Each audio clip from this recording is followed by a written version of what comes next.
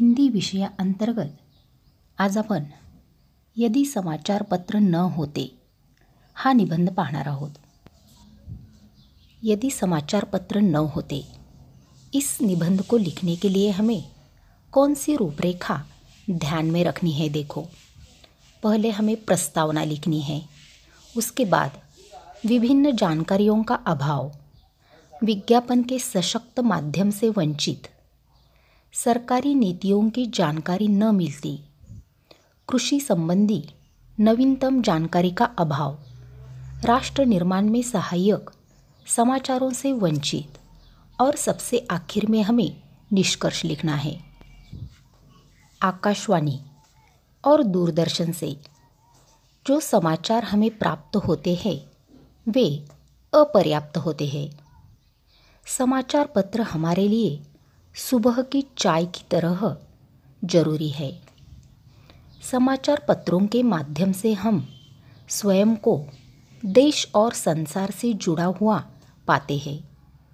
यदि समाचार पत्र न होते तो देश दुनिया के राजनीतिक, आर्थिक, व्यापारिक, सांस्कृतिक और सामरिक समाचारों तथा विभिन्न खेल प्रतियोगिताओं के बारे में कोई जानकारी न मिलने से हम बेचैन हो जाते हैं।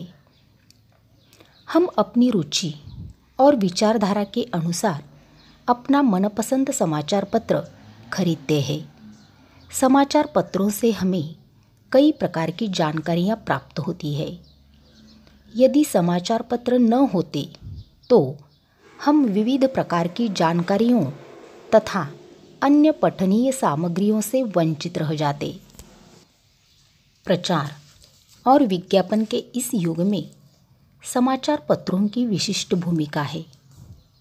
समाचार पत्र विज्ञापन के सशक्त माध्यम है। फ़िल्म, व्यापार, नौकरी, जगह ज़मीन, विभिन्न उत्पादनों तथा समारोहों की जानकारी हमें समाचार पत्रों में प्रकाशित होने वाले विज्ञापनों से ही मिलती है। व्यापार वृद्धि में समाचार पत्र महत्वपूर्ण भूमिका निभाते हैं।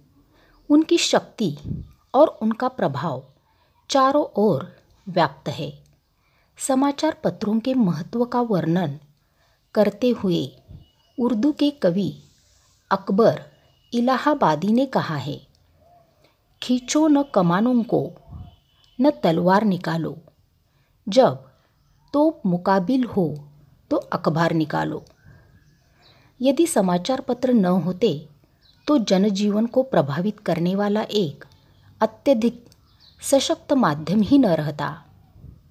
यदि समाचार पत्र न होते तो जनता को सरकारी नीतियों की जानकारी न मिल पाती।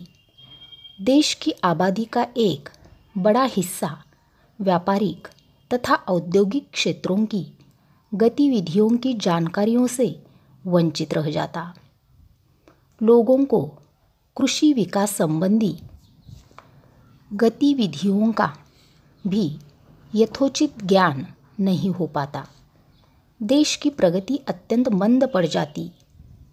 भारत के स्वतंत्रता संग्राम में समाचार पत्रों ने महत्वपूर्ण भूमिका निभाई थी।